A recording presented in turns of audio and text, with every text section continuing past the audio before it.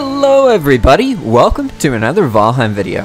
Today we're going to be learning how to stack chests and label them appropriately.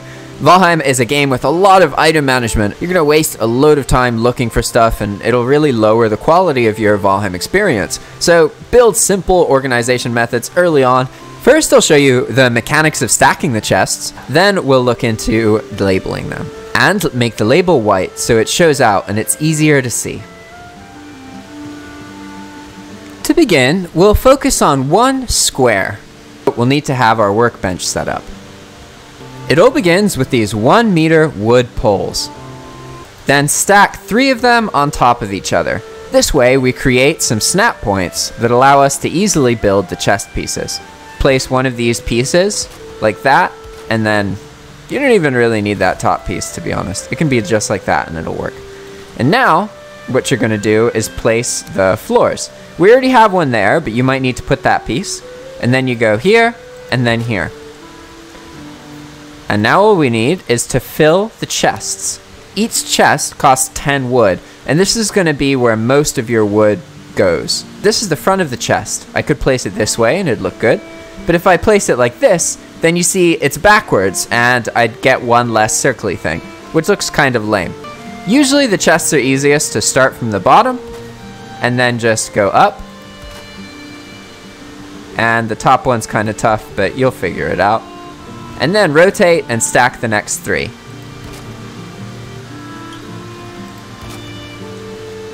And they're going to be a bit off, as you can see. That's fine. Don't worry about it. Now that we've placed our chests, we can add our trim. All we have to do here is sort of cover up our errors, right? There we go. I actually don't want that one anymore. Boom, we finished each square, and look at that. We now have our stacked chests. And that's the basics of it. Obviously, you could trim it up further if you wanted to. You could do something like this, make it, you know, much more recessed. I don't like to do that though because it makes the hitboxes for the chests smaller, and I like having them open and easy to grab. The next step is labeling the chests. One of the reasons that I like to build the chest stacks this way is because they're really easy to label. Labeling may sound simple, but believe it or not, it can actually be rather confusing, because think about it. Okay, if I put this label here, there's four chests next to this label. Which one is it talking about? Okay, and if I put it here, which is it talking about?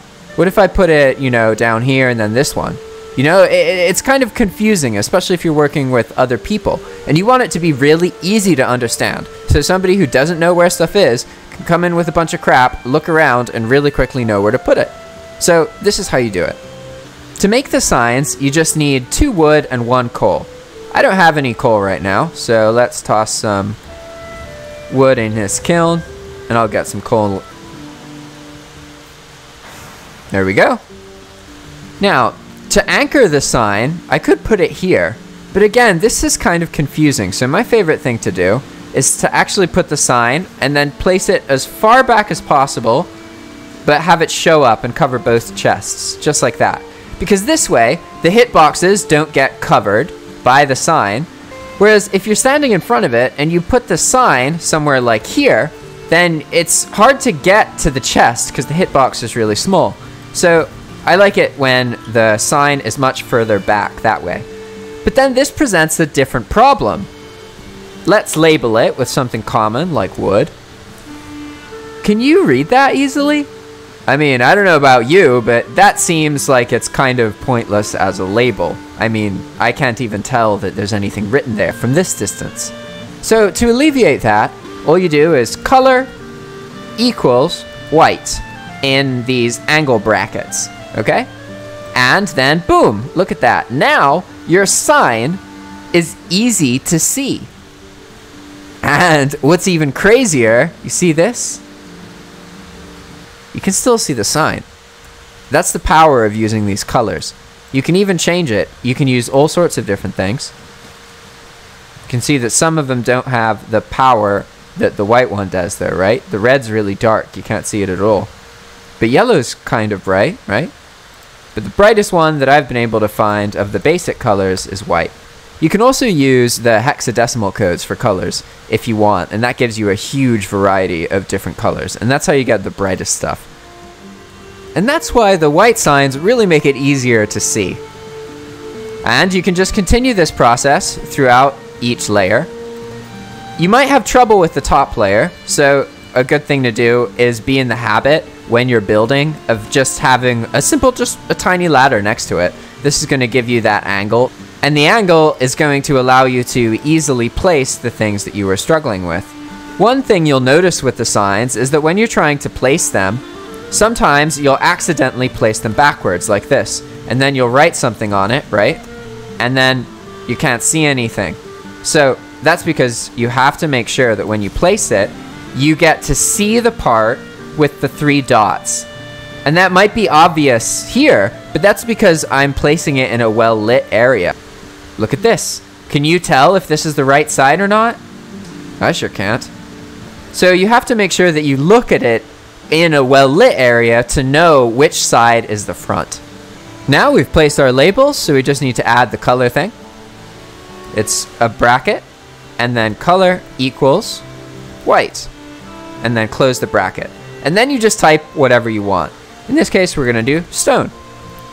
Right? Common resources in the beginning stone, wood, resin is another common one. And this is the basic module, let's say. I wouldn't go too much higher than this because it becomes increasingly inconvenient to access them. Realistically, here's how much space you would actually need to make everything work and not have a bunch of items everywhere. This also gives you a bit of extra space. I'll go over it real quick. You'll need a lot of space for Greydwarf eyes, resin, and wood in the beginning. Whenever you have any extra wood or stone, it's a good habit to build it.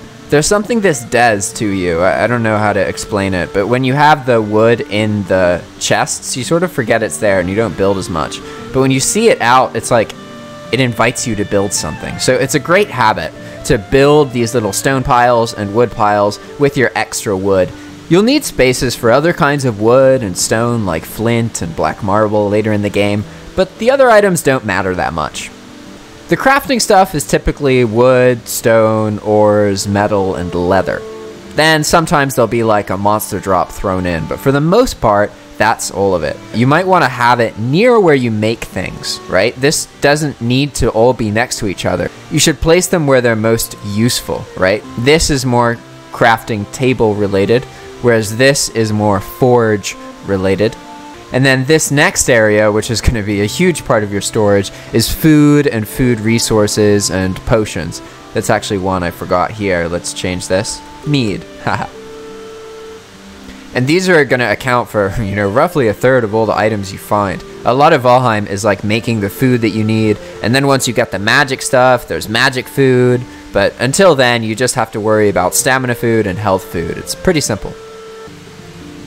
And that's about it. You'll find that no matter how much storage you make in Valheim, you always eventually fill it up. So don't fret if you find that things get too full, but make sure that you have enough space and enough storage available so that you can organize it and put things away and you kind of know what to expect. It's going to be a lot less cluttered, and your adventure, especially with multiple people, will be more organized and meaningful as a result. That's it for this video, everybody. If you'd like to support my work, then consider checking out my tutorial all about purchasing your own dedicated Valheim server.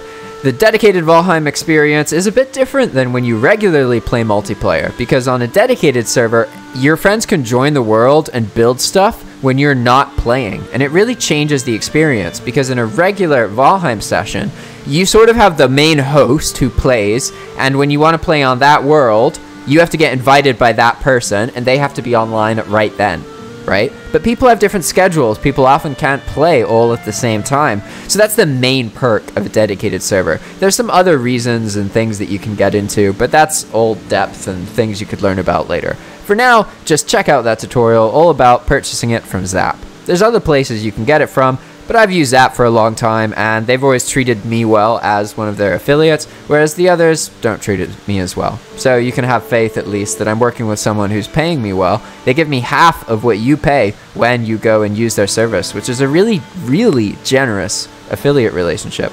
In the affiliate world, a lot of people only do like, you know, 10, 20%. So I get, tip my hat to Zap for that.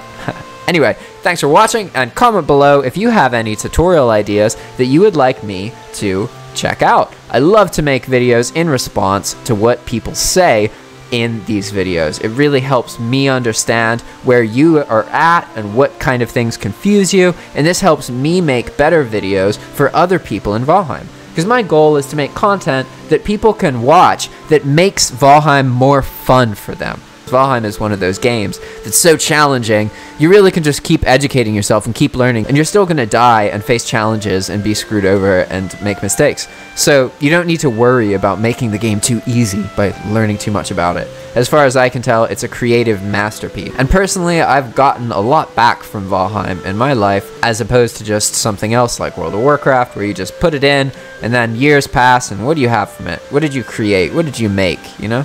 Things in Valheim at least I'm practicing my creativity. At least I'm learning to design things, and that is really beautiful. And I think it's something that more people need in their lives, right? anyway, thanks for watching. See you next time. Bye.